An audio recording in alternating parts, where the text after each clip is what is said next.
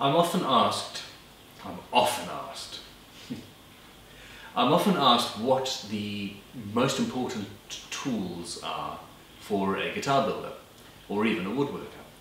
And I can turn around and say, oh, you need a, you need a half inch chisel and you have to have a block plane and you have to have a, a number four or a number five plane for, for smoothing and, uh, and you have to have a hand drill or would you need to have a router if you want to make electric guitars? And I can go on and I can say oh oh oh you need this. And I can probably continue in that vein for half an hour. In fact I'm going to make a video for that it will be fun.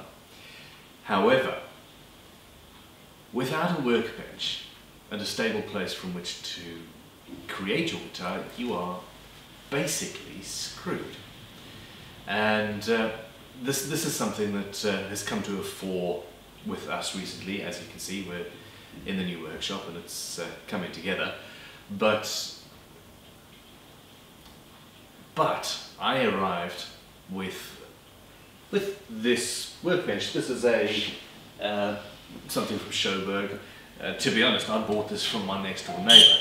I'd had, I've had many benches over the years, and the, the very first one that was my personal bench was something that somebody had made in a shop class uh, at a college or something like that, and I bought it for 50 pounds. It's got a, a beautiful um, quick release vise on the front and, and uh, a solid real mahogany uh, top. And you know, it was a big, heavy, workable workbench. And I, you know, I was very lucky. It was a perfect start. Uh, and I, I don't know what happened in the end. I decided I was going to take that top and turn it into a guitar. It was mahogany. And uh, I, I, went from there and I built, I built myself in the workshop and I actually built it into walls and things, various cabinet style built-in monstrosities. And they were stable, but not real workbenches, they were just work surfaces. Uh, anyway, about, well, a couple of years ago, I had enough of this and I said, you know what, I need a real workbench. And my neighbour happened to be selling this little Sjoberg thing. And, and it's fine, it's uh, five foot long, it's got an end vise, it's got one of these funny little L-shaped things, which is too small for guitar building uh, on that side. And it's, it's doable. It looks very solid. However, one, it's too short for me. I, I do, as a guitar builder, we do a lot of handwork and it's, your, your bench needs to be closer to you, as far as I'm concerned. Uh, I've heard that a lot of woodworkers have lower benches, 34 inches, and I, I don't know, working like that just just doesn't work for me. I, I, I don't understand it. So I, my, my bench needs to be sort of just below hip. Um, so you can get in there with the plane. Maybe when you're using a router it's a little bit high, possibly, but no, stand on tiptoes. Anyhow, that's an argument for a, for a later date. Uh, back to this bench the hardware is, is fine. We've had to put leather on there to protect it, and that isn't deep enough for putting guitar wood in, really.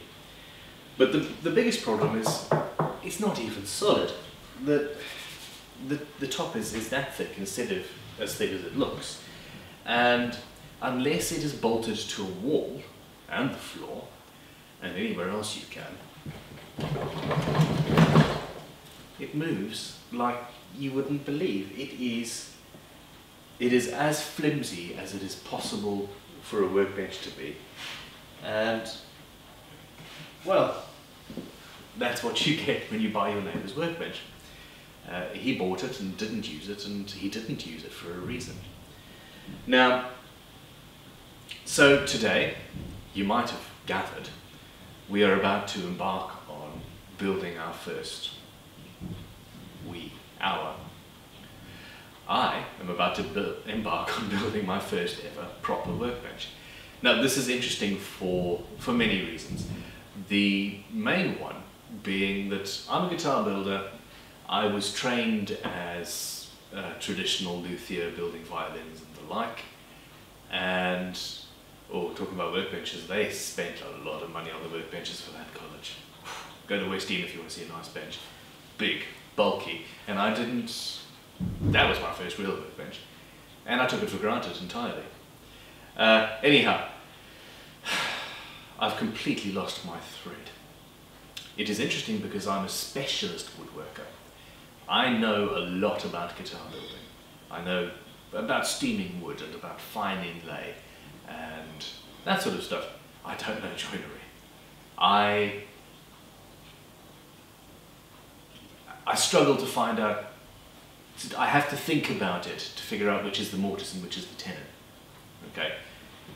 I've never really been interested in general joinery and woodworking because I was obsessed about guitars, which is fine. However, I've got to a point now where, well, being able to make a table, let alone a workbench, actually rather appeals to me. I'd like to be able to put together a jewellery box for my daughter, or uh, a chair. Can you imagine making a chair? Scary business. Uh, anyhow, so I've done the research, I've read the book, go out and buy Chris Schwarz's uh, workbench design and history or, or something like that. Go and buy that book. See the videos that he's done. He is a master. He's built many. This is going to be a tutorial because I'm going to be filming how I do it, but by no means treat me as the definitive answer. This is you watching a guitar builder making a bench and uh, I'm going to be using things that I've taken directly from other people. And one of the things that Chris says in his book is, uh, well, his rules, uh, overbuild the bench, make sure it's as strong as possible. And the second rule is overbuild your bench, make sure that it's as strong as possible. And the third rule is stay married while you're overbuilding your bench. Uh, so I'm going to be taking a lot of things that I've learned from him and from other videos that I've seen, but I'm also tailoring it for a guitar builder. Now, from a design point of view, six foot, I mean, a five foot bench is doable just. I mean, your bass isn't longer than five foot. A bass guitar isn't longer than five foot, really. I'm going to make myself a six foot long bench. Furniture workers, furniture workers, woodworkers who do furniture making, seven foot, eight foot, if they could have a 10 foot bench, they'd like it. But that would be utterly super, superfluous for us. We don't, we don't need that much space. Um, people do the split top Roubo and all of that, and the benches are, can be quite wide. We don't need a wide bench. In fact, if I can clamp a guitar, have a clamp on this side and have a clamp on that side, and it's clamping both sides of a guitar body, an electric guitar body, that for me will be incredibly useful. So I need to say, okay, well, a, a Les Paul-ish type instrument, that is 14 inches at most, I would say. So, you know, if I've got it at an angle, I could have an 18 inch, well even a 20 inch bench, and that would just be okay. And uh, so we're going to design it specifically with guitar building in mind. We, I, I'm in the habit of saying we too much. I'm going to enjoy this. This is basically the first time I've done mortise and tenon joinery. I'm going to be using the draw bore method where, well, I'll show you and we'll put that in. Uh, initially, I'm not, I'm, not, I'm not sure what I'm going to do with regards to an end vise. I do like using dogs and uh, again I've done the research and a lot of people say that the round hole dogs are better than the square, including Chris himself. So I'm going to ignore that at the beginning of this build. I've thought about it and thought about it and thought about it and I've decided I'm going to defer thinking about it. At some point I am going to put an end vise on and I'm going to drill holes for circular dogs because I think that's necessary. We're going to have a, a front vise and we're going to have various um, tricks and tools for guitar making in particular, all of which taken from general woodworking. So what I'm saying is, uh, if you want to learn how to build guitars, go and watch some general woodworking videos. Anyhow, the design. I'm going to, I'm going to scribble on a piece of paper and bring you in closer. So here we go. You all sit at tables all the time. You know what they look like. Uh, very basically, we are going to have four very large legs and mine are oh, four and a half inches square, huge. Uh, you need your rails and that is the basis for your workbench and then effectively the table goes on the top. Now what we're going to do, and I've run out of time, run out of space, sorry, we're going to have this very cool little thing here which effectively wedges the wood in and that's bolted to the bench permanently and over here I'm going to have a face vise and we'll see what those are later. Now what I've drawn there is actually the tenon. see I had to think about that. The leg itself is going to be bigger and is going to be